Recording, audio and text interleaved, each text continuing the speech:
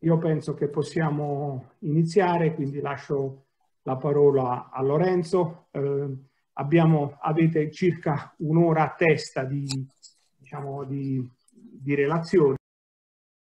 Riprendiamo dove, dove ci siamo lasciati.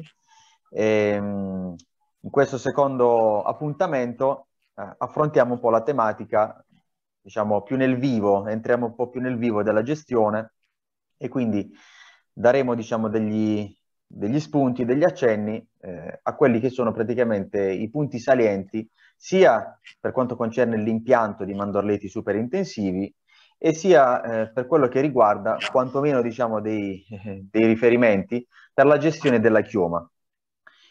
in questa fotografia manca la collega Titti, io non ho trovato una fotografia in cui eravamo tutti e quattro insieme, però eh, la prossima volta sarà la volta buona. Allora, giusto così eh, una, una breve, eh, un breve riassunto un po' del motivo per cui effettivamente, scusate, ehm, sì, quali sono le motivazioni principali? Eh, perché diciamo, eh, è importante, perché è opportuno, perché conviene eh, scegliere diciamo, una gestione di, mand- di mandorlo super intensivo. Ora, eh, uno degli aspetti principali è, è, chiaramente la rapidità dell'entrata in produzione. Un sistema che è in grado, diciamo, di, eh, a seconda delle varietà, dimostrare i primi frutti già al secondo, in realtà diciamo è dal terzo anno che si comincia ad avere una prima, una prima raccolta. Eh, un altro aspetto molto importante che accomuna tutti quelli che sono i sistemi superintensivi è, è la meccanizzazione praticamente di quasi tutte le operazioni, dalla potatura alla raccolta.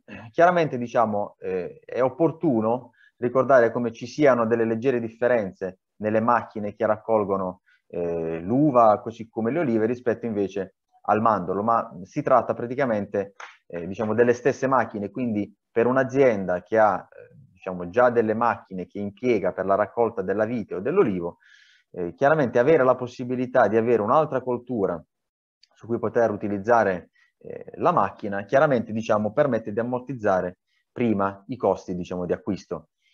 Tra le operazioni che è possibile meccanizzare, eh, certamente anche la potatura. La potatura meccanica effettivamente diciamo, può iniziare già a partire dal secondo anno. Nel primo anno, vedremo poi nelle slide successive, ehm, diciamo, scusate, devo togliere un attimo questa...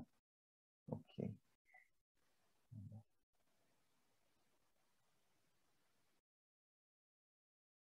Ok. E nel primo anno eh, è opportuno comunque diciamo, che eh, ci sia un intervento manuale che riguarda sia la legatura sia la sistemazione delle piante lì dove ci sono degli errori da correggere e comunque diciamo è dal secondo anno che le piante possono essere eh, sottoposte a potatura meccanica.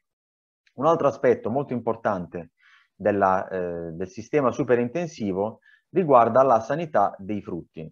ricordiamo infatti, come eh, è stato detto nella, diciamo, nel seminario precedente, che l'80% dei frutti di mandorlo a livello mondiale sono prodotti eh, in California e come ha ben spiegato il professor Caruso, i frutti sono raccolti da terra, con tutta quindi una serie di problematiche di aflatossine, di salmonella, quindi tutto ciò che ha a che fare con la contaminazione del frutto, in questo caso, nella raccolta direttamente dalla pianta, effettivamente non c'è. Quindi c'è un aspetto salutistico, comunque diciamo anche proprio di, eh, a livello legislativo di eh, un prodotto conforme alla commercializzazione, che è possibile ottenere negli impianti superintensivi comunque con eh, raccolta del frutto dalla pianta direttamente. Quindi a questi vantaggi, alla maggiore precocità nell'ottenere le alte produzioni e eh, alla maggiore, eh, diciamo, anche stabilità di alcuni investimenti, possiamo vedere che ha fatto seguito eh, nel corso, diciamo, di questi anni il sistema superintensivo del mandorlo è abbastanza recente, comunque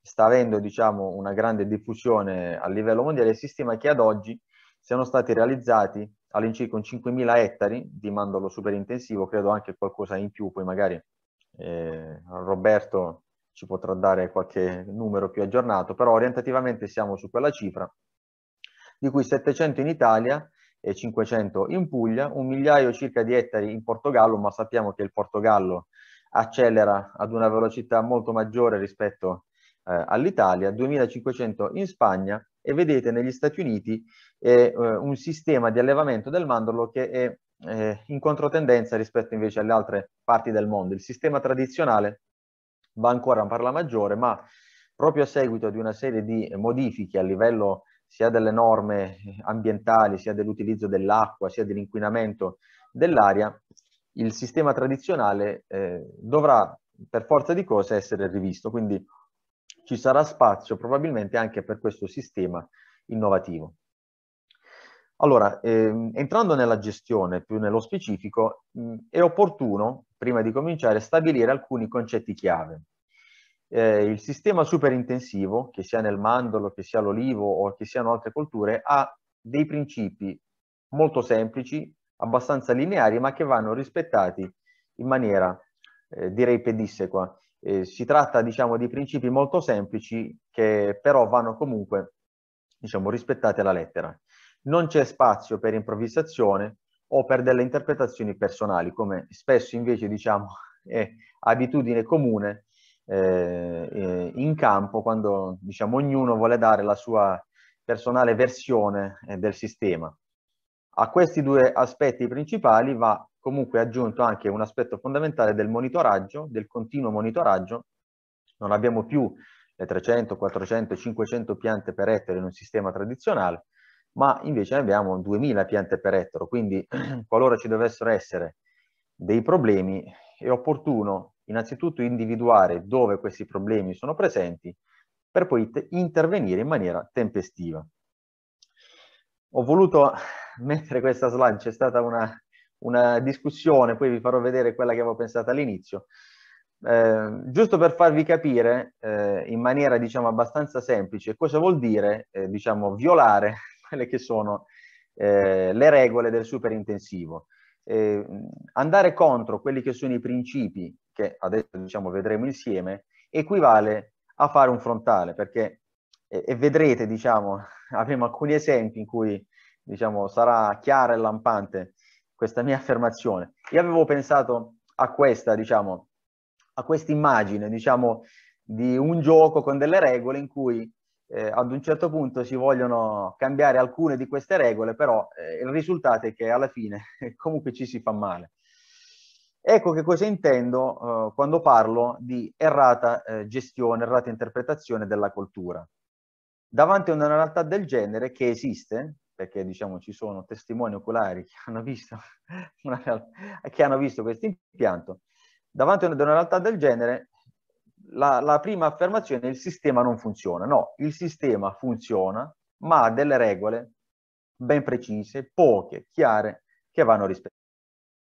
Un altro aspetto eh, diciamo, molto importante è la gestione del filare.